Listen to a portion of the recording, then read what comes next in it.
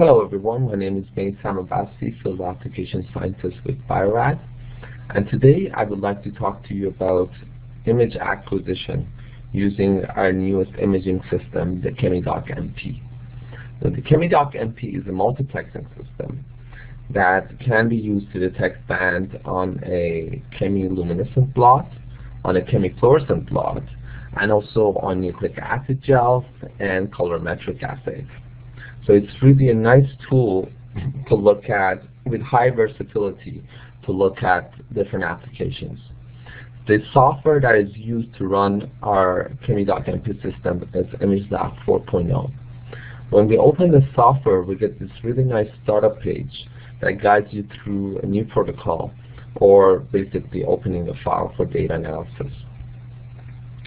So in protocols, we can select from new single channel protocol or new multi-channel protocol, or we can open a previously saved protocol. So say if you want to start by uh, looking at a new single channel protocol. And a nice feature about this software and the whole system is that everything is automated. So the workflow is automated. We basically select our application, whether it's a nucleic acid gel, protein gel, blots, or custom gel. Um, we select our application and the light source and the filter will be selected automatically. So you can see that in the nucleic acid gels, we have all these dyes that are preset into the protocol.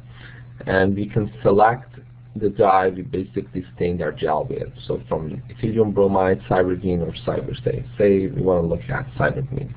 And now you can see that the filter is selected at filter 1 and the light source is selected as UV transillumination. And this is all automatic. Next, we can select the imaging area. So if we have purchased a specific Bio-Rad gel, we can select it. And you can see how the area changes. And we can also enter the imaging area.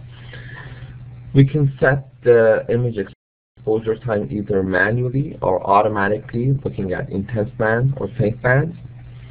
And we can select to highlight saturated pixels as well. So next step is the position gel and we can select to zoom in or out in here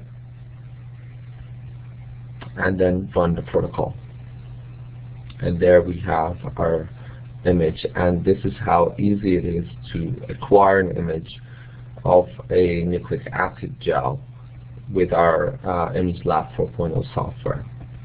So say if we want to look at a blot so we can either look at a chemiluminescent blot or fluorescent labeled blots. So say if you want to look at a chemi with high sensitivity, and you can see there is no filter and no light source, so no illumination with chemi. So basically this is automatically set. We can enter the imaging area, and the nice feature that we have for our chemi luminescent blots is we can set up signal accumulation mode. So if you click on Setup, now the software will ask us, okay, what is the first imaging time that you want? So we can set it to, say, one second. And the last imaging time, we can set to 10 seconds. And the total number of images to take, I can select four. So now the first image will be taken at four, one second exposure. The second image will be taken at four second exposure third image at 7 seconds, fourth image at 10 second exposure. So this is a really nice tool that can be used. And you can also select to highlight saturated pixels. And then when we position gel, we can also select to zoom in or out, obviously, and then run the protocol. So first second, and then the image at fourth second and 7 and 10 seconds. So there.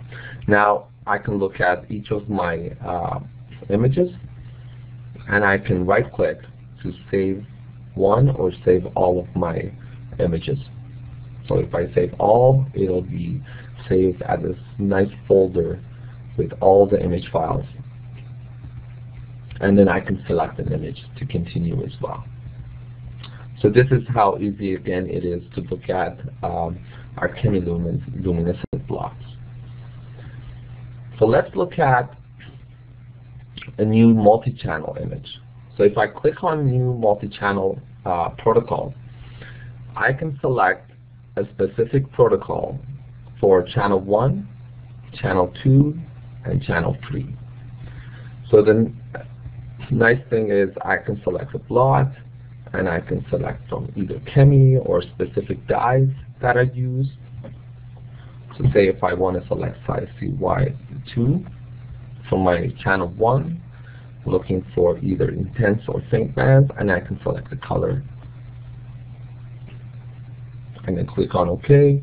In channel 2, say I want to look at um, Alexa 546 and I'll select it as green. And a nice feature is that I can also look at my colorimetric assay to look at my uh, protein standards. So I can look at both my targets and my protein ladder in one blot. So I can so I can compare, um, basically look at the molecular weight of my target proteins, and then select a specific color. Click on OK. Again, we would position our gel zoom out, and then click on Run Protocol. So now we can first see the image from channel 1, and then channel 2, and channel 3. So you can see that we have the, in this view, we have the multi-channel image, we have the Cy2, Alexa 546, and the colorimetric, which where we can basically see our protein standards. And we can look at, select to look at the grid view, vertical view, horizontal view, or single view. And in the full image, we can select to hide a specific channel if we wanted to. And in the multi-channel image, I can select to hide either of the channels to look at one or two specific channels. So this is how easy it is to take an image, again, for uh, multi-channel protocols. So I hope this tutorial was useful for you. If you have any questions, do not hesitate to contact any of your Bio-Rad representatives. And thank you very much to listening to this tutorial.